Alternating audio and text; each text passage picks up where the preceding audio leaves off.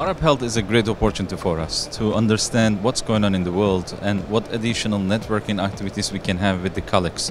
So each time when we come, we explore the new opportunities, how we can serve our caregivers and patients best. So this time I see lots of new developments and the new solutions from the companies, uh, which makes me happy to see. And definitely we will be offering them to our patients.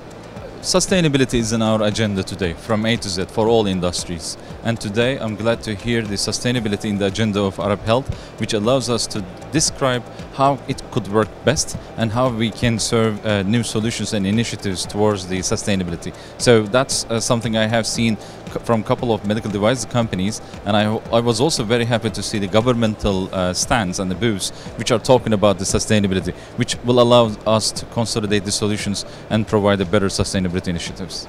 First of all, it is a networking opportunity for us. It brings us together and we can share the experiences between each other, the colleagues, which then allows us to implement new things. That is what we use Arab Health for. So we come up together with the uh, colleagues from the other industries, uh, from the medical device and other hospitals together, which helped me to hear the new practices. And when I'm back to my hospital, definitely I will be utilizing them.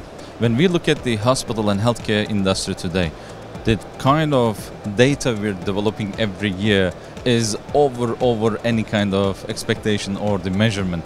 So today to make this data useful ai is the only solution which will help us to utilize this data dissect it and understand how we can serve our patients better. So that's what's going to happen. I have already seen a couple solutions uh, using the ai which will definitely make our hand stronger and then will help us to provide better services to our patients questions.